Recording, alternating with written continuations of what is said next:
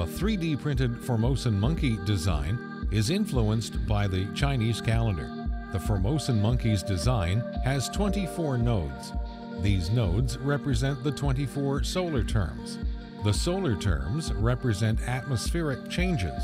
Each of the nodes on the design are rotatable and adjustable, permitting the monkey to have various positions and expressions.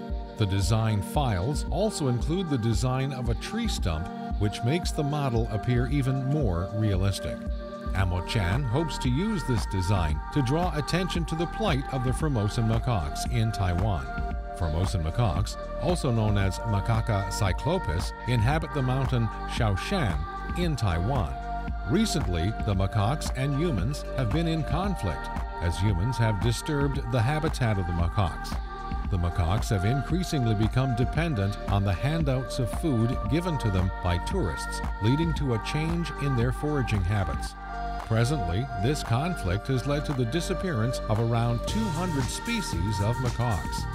Conservationists have determined that encroachment of their habitat is the prime reason for extinction of certain species of macaques. Efforts are underway to educate the local population and tourists with regard to preserving the macaque population.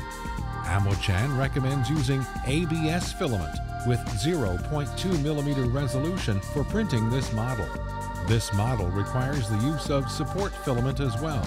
It comes along with a video which demonstrates the assembly process. Choose to print this design and celebrate Chinese New Year and nature.